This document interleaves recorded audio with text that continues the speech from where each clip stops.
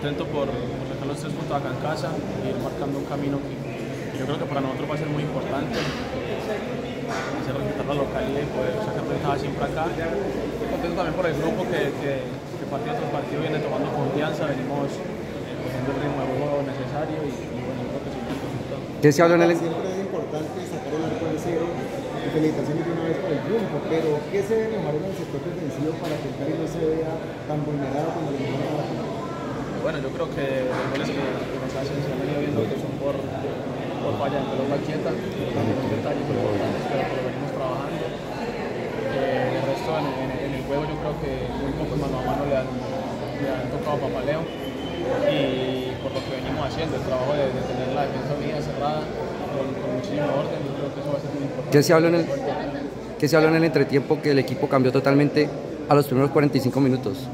Eh, bueno, yo creo que los dos equipos ya teníamos el desgaste y sabíamos que teníamos que salir a igualarlo en la intensidad, ya que ellos iban a ir con el ímpetu de buscar un gol.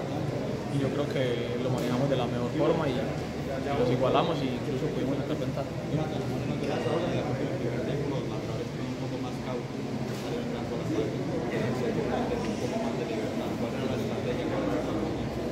bueno, yo creo que es el ímpetu que va marcando lo que, que, el juego te va dando. Creo que el primer tiempo, como dije, es un equipo importante, Fortaleza yo creo que el posicionamiento en el campo es, es, un muy buen equipo y yo creo que tiene extremos muy rápidos. Creo que tenemos que ser un poquito cuidadosos y tratar de manejar nosotros la en cero, que adelante en algún momento iba a llegar el gol. ¿A qué se debió su cambio, Jonathan?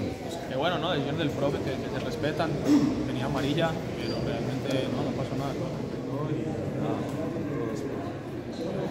para esta victoria, esta rival directa tenemos el triunfo y lo que practicamos era básicamente formación intermedia y, y poder contraatacar espacios libres que teníamos.